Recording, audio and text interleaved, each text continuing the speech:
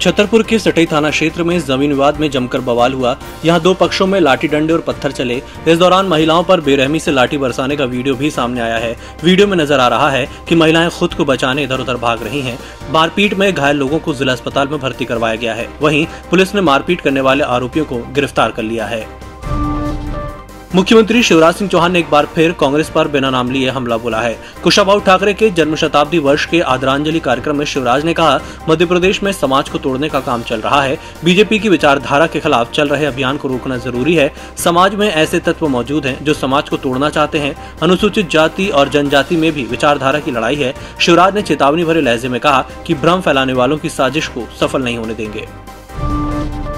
नीमच में आदिवासी की हत्या के मामले में कांग्रेस ने सरकार को घेरा। वहीं दतिया में कांग्रेस के पूर्व जिला अध्यक्ष के बेटे द्वारा एक अल्पसंख्यक की हत्या के आरोप लगने के बाद बीजेपी हमलावर हो गई है। इस घटना को लेकर गृह मंत्री नरोत्तम मिश्रा का बयान सामने आया है उन्होंने कहा कि हमारे हाथ कानून से बंधे हैं, वरना ऐसे लोगों की दुनिया में कोई जगह नहीं होनी चाहिए। उन्होंने कहा, दतिया में कांग्रेस के पूर्व जिला अध्यक्ष के बेटे ने अल्पसंख्यक को कुचल कुचल कर मार डाला।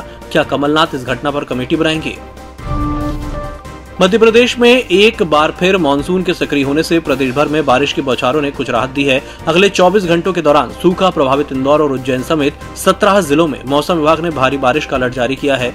जबलपुर, सागर, भोपाल, होशंगाबाद, ग्वालियर और चंबल संभाग में भी गरज चमक के साथ बिजली गिरने और कहीं कहीं अच्छी बारिश की संभावना है। देपालपुर के खाजरौदा गाँव में नाम बदलकर कारोबार करने पर बवाल हो गया। यहाँ इलियास नाम के शख्स ने पानी के पताशे के ठेले पर सांवरिया का बोर्ड लगा रखा था। लोगों ने उससे नाम पूछा तो उसने इलियास बताया, इस पर लोग भड़क उठे और ठेले से बोर्ड हटवा दिया। लोगों ने इसका वीडियो भी बना लिया। इसके बाद सोशल मीडिया पर अपलोड कर दिया। ग्वालियर में एसडीएम कोर्ट में पेशी कर घर लौट रही दो बहनों पर छोटी बहन के पति ससुर ने अन्य साथियों के साथ हमला बोल दिया। हमलावर लाठी डंडे और सरिये लिए थे। दोनों बहनों को बेरहमी से पीटा। सबसे ज़्यादा बड़ी बहन को पीटा, क्योंकि वही छोटी बहन की मदद कर रही थी। बड़ी बहन के सिर में सरिये से इतनी बार हमला किया कि बारह से ज़्यादा टाके लगे हैं। घटना सिरोली के हुरावली पर दो दिन पहले की है।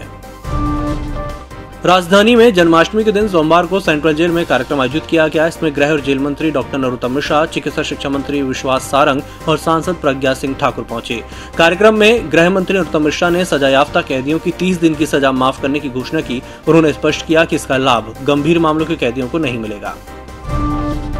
भोपाल नागपुर फोरलेन पर गोंदरी घाट पर बना नर्मदा ब्रिज तैयार है। नर्मदा नदी पर बने 25 गर्डर वाले पुल की तस्वीरें केंद्रीय सड़क परिवहन मंत्री और राज्य मंत्री नितिन गडकरी ने सोशल मीडिया पर शेयर की हैं। साथ ही केंद्रीय मंत्री ने इसे प्रगति का हाईवे बताया। इस फोरलेन पुल से भोपाल और नागपुर शहरों की दूरियाँ कम होंगी, साथ ही पहुँचने के लिए लगने वाले समय में भी अंतर आएगा।